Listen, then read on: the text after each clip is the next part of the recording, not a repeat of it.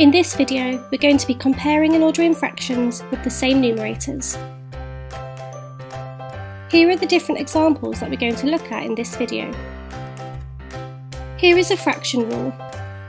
Let's look at each unit fraction.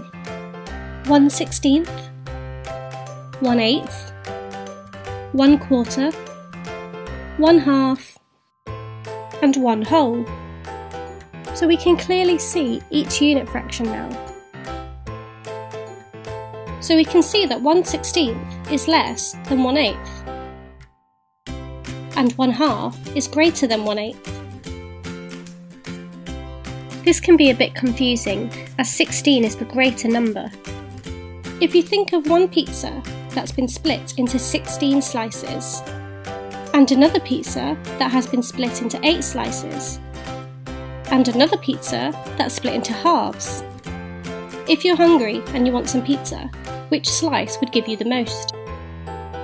So if you're sharing a whole between larger numbers, it results in smaller portions. So when the numerators are the same, the larger the denominator, the smaller the fraction. We can see that 1 half is greater than 1 eighth. We can see that 1 quarter is less than 1 half. And we can see that 1 16th is less than 1 eighth. Now let's look at non-unit fractions.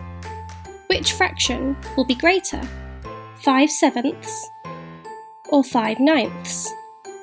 Pause the video to give yourself time to work out the answer.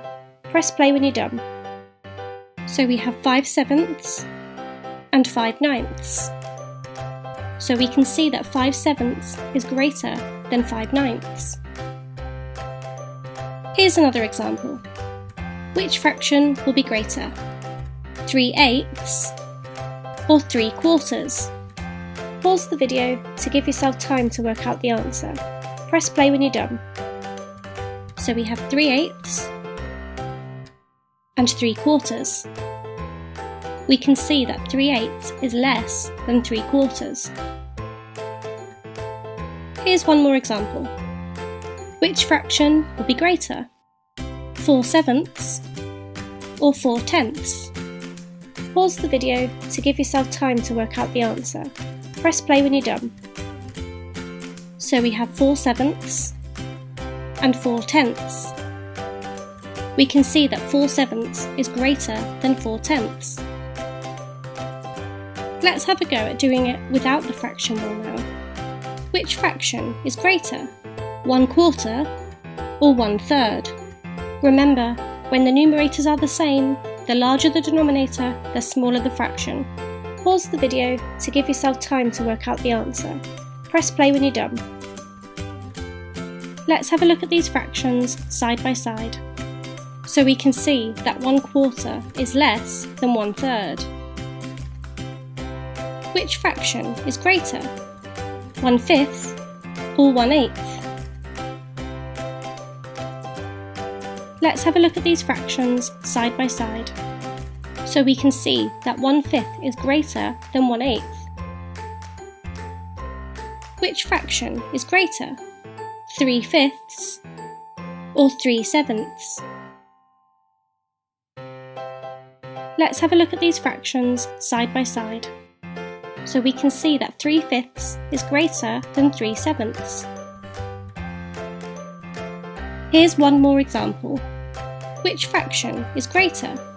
3 tenths or 3 quarters? Let's have a look at these fractions side by side. So we can see that 3 tenths is less than 3 quarters.